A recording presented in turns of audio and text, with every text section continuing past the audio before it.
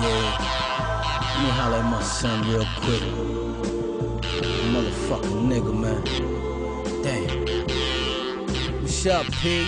Hope all is well, I should've wrote you sooner. But since our last visit, I've been fighting off them rumors. Like me and you, we not rocking like we used to. My loyalty is strong and I don't feel I gotta prove to.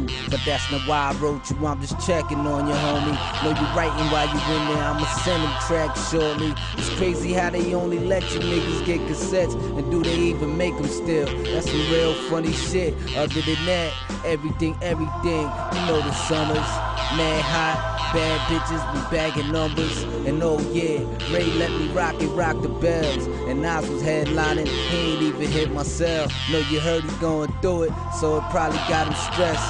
So I ain't tripping, you know me, I did my thing and left. And hit the studio, I'm trying to get my verses up.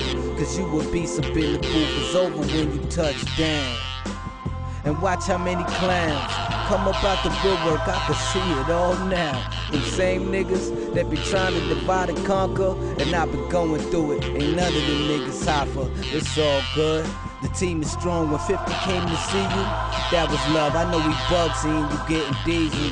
The next album, it gotta be off the meat rack. My ears to the streets, they yelling at in the feedback. Shit is weird. This the longest niggas been apart. I sent that money to your wifey, and it came from the heart.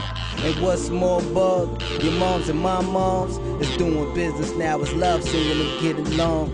And with that last thought, I'ma cut this letter short. Cause I could go forever, save it for the next letter. Hold your head, remember things could only get better. And fuck what niggas saying, yeah, it's Mobb Deep forever.